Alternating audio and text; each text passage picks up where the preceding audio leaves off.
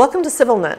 My guest today is Dr. Frieda Jordan, who is a biochemist and the founder, and now the president still, of the Armenian Bone Marrow Registry. Uh, Frieda, welcome to CivilNet. Thank you, Salpi. Um, you and I are old friends, colleagues. We fought the good fight together for many years in the diaspora before independent Armenia. And now we've each chosen our way of continuing our activism, doing our work. And you, who've also been very politically active, could have chosen all sorts of other ways than to set up a bone marrow registry, which most people don't even understand, except that we know it saves people. And, well, first, tell us exactly what you do, and then I'll ask you why. Yeah, I, I decided uh, 15 years ago to focus on my expertise, which is establishing a bone marrow donor registry uh, and the laboratory associated with that.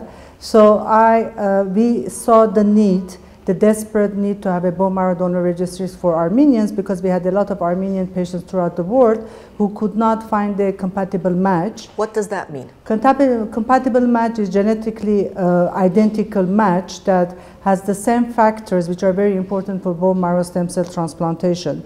Without that match, that patient cannot survive uh, if it doesn't go into remission after the, uh, the routine chemotherapy and radiotherapy. So, basic understanding.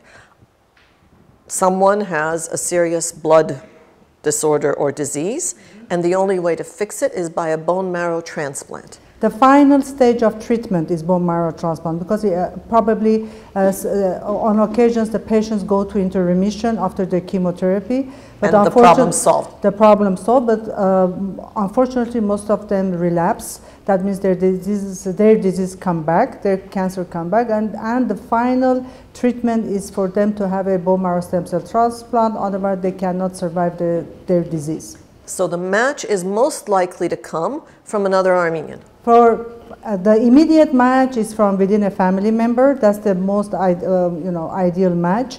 If you cannot find a match within the, your own family, then is the the best option is to go within your own ethnic group, and in, in this case is Armenians. And even you don't find within Armenians, then you have to go to the worldwide.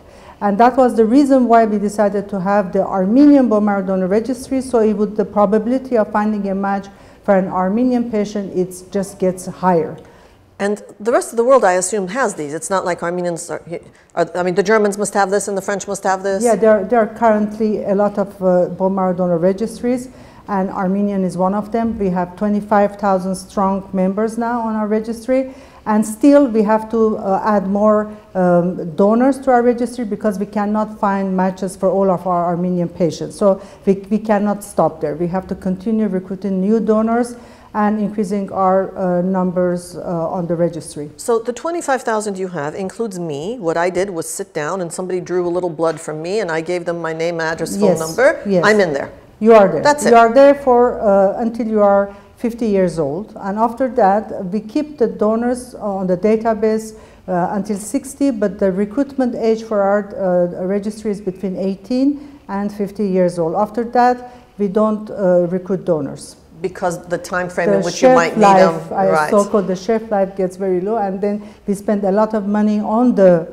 um, uh, recruitment and testing. So we want to keep donors who have got longer uh, time to be a donor and to serve a patient. Nobody's ever before said my shelf life is decreasing. This is good. we won't go there. In terms of transplantation, we won't go there. yes. Okay, now I'm going to use a little bit of logic here. You're doing something that is uh, across the USC, across the nation. Yes. Um, it costs me nothing except to sit there and feel that needle go for a minute. Mm -hmm. The rest of the work you do uh, at the end of the day, it's going to help somebody, most likely an Armenian, but not necessarily. Absolutely.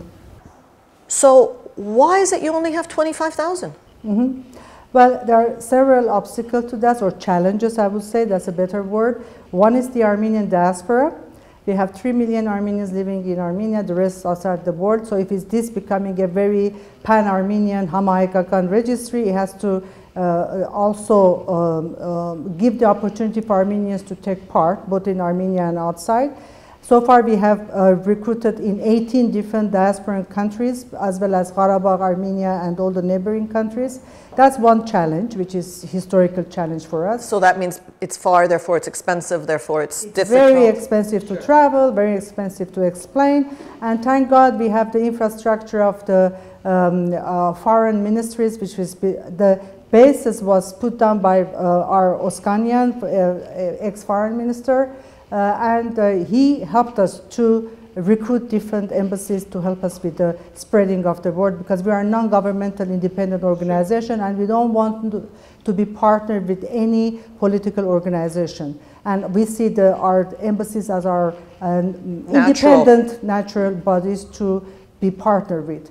So that's one uh, challenge. The second challenge is challenge of not knowing what bone marrow donor uh, registry does challenge of uh, uh, of thinking that this is a very complicated procedure. Uh, it, it might paralyze you. You go down to your spinal uh, cord and all that, which is completely nonsense. All you do is just through uh, stem cell apheresis, which is like uh, donating blood or platelet. You collect your stem cells. We collect your stem cells, and then we infuse it, infuse the stem cells to the patient. So But that's only the- if you find a match. Right now, all you want from me is a, is a vial of blood. is vial of blood or just a swab. Just a And then- saliva swab. And then the commitment that you will become a, a uh, if you become a potential donor, you will donate your stem cells, which is totally non under anesthesia condition. is very easy and it just takes a couple of two or three hours. Now that's the other challenge of uh, not knowing. So that, that and the reason uh, and to overcome that challenge, we have been doing extensive outreach programs both in US, both in Armenia. We go to every school, uh, to churches, different churches, through our media. Uh, you know, we have our own TV program. We try to reach different people. But again, I hear that oh, we didn't know about you guys. And the only time they knock our, our, at our door is they, if they have a patient in their family and they are be, being victim of this disease, and then everything will become urgent. We need a donor, and then everybody, everybody wants to help. Um, Okay, that's two obstacles. that's what. The third obstacle is um, uh, this project is not for Armenia per se, it's for all Armenia throughout the world. But we cannot serve truly our patient population in Armenia because when we find a match for our Armenian patients, then they cannot have their transplant in Armenia because we don't have transplant centers in Armenia. And, and, that's, uh, and that is one thing that uh, we have to ho- hopefully overcome. uh, Why? be- What's the because difference uh, what's the difference in between whether the center is here or in Germany? No the, the because they don't have a transplant center in Armenia so bone marrow transplant center that they don't perform here. So even if we find a match for Armenian patient in Armenia it just gets wasted because they cannot use it if they don't have the finance to uh, do the transplant. And that's uh, one of the way of finding a finance if you, you don't have uh, enough money yourself is to find a sponsor. And thank god we- had a case where VivaCell raf Yirikian was very instrumental to find a uh, to give the finance for a patient to go and have the transplant in the uh, in Iran, which they have a lot of transplant centers, but they don't have a bone marrow registry. But they have the money to have the transplant center. So we hope very much that within two years we can have transplant center in Armenia. So we uh, serve our patient population better in Armenia. But for patient outside Armenia, there is no problem. We had a patient recently in Los Angeles, which by the way is the uh, grand, great grandson of Diana Apgar, the famous uh, The consul the in consul Japan. general in Japan. And During the first Armenian Republic. Yeah, first Armenian. We found a match for him, and, and interestingly, the matches is from Iran, from the same Julfa Isfahan region. And it, it's amazing. The genetics is amazing. It doesn't matter where you are, you still are, connected to your, genetics through the Armenian genes. That's a fantastic story. We should do that. Just that It story. is, it's, it's, it's fantastic because when, I didn't know who uh, our patient was, but when I talked to the patient, because we ask, usually ask where the patient family is coming from. And when they say it's from Julfa, I said, Julfa where? You're from Julfa, Yeah, they're from Julfa. but so are you. Uh, my half half is from Julfa, Isfahan region. And then they said to Julfa. I said, who, who was uh, his ancestor? And they said, "Di- Diana Apgar, the famous uh, Consul General of Fantastic Armenia. that the, Uh-huh. those genetic yes, roots yes. continue. So uh, that patient in Los Angeles has got no problem. We have found a match which is in Iran. We have talked to the guy, and he's more than willing to donate. So now that we have a har- harvest center in Yerevan, so that patient in uh, Iran will come to Armenia, donate uh, his stem cells, and then we transfer the stem cells to our patient in Los Angeles. We had a, just a recent case where the patient was in uh, Ulm, um, and the Armenian patient from Ulm, and the uh, sister was in Yerevan, so we uh, Harvested. harvested stem cells of sister. And by the way, the Germans didn't want to give uh, a visa to the sister to go to Germany because the sister was there um, on a um, asylum basis, and then and the Germans told this patient's family that you have a very good harvest center in Armenia, you can do it there.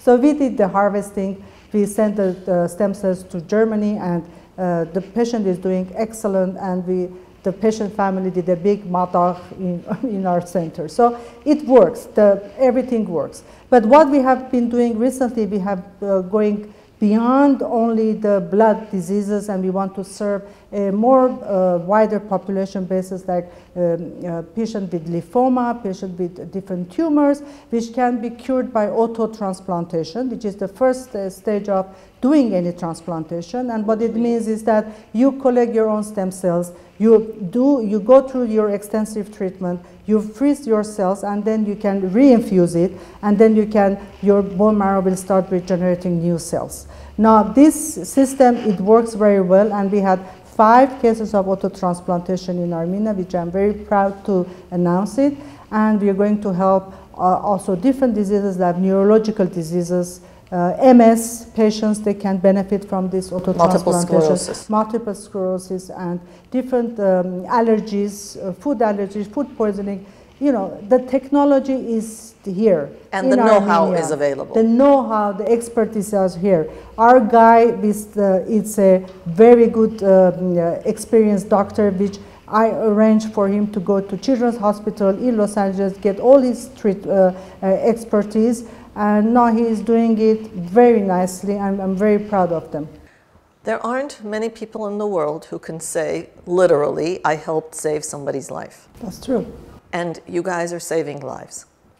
And you're giving me the chance to participate in saving a life. Absolutely. And Seems simple enough. It's very simple. I mean, what are the chances that you can save somebody's life by just sitting on a chair and you know going to, to a very two hours, probably boring, but we put a video for people to watch, a program donating your stem cells and saving somebody's life.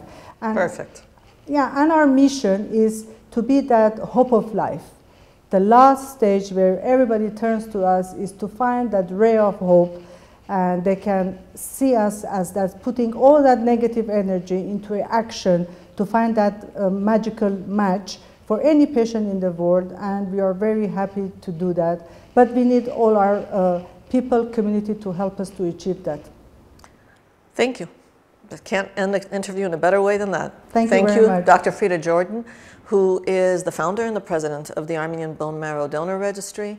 And the explanations are one of those rare sorts of explanations that make you think that, yeah, you really can do something to change the world. So thank you for following us on CivilNet and help us change the world.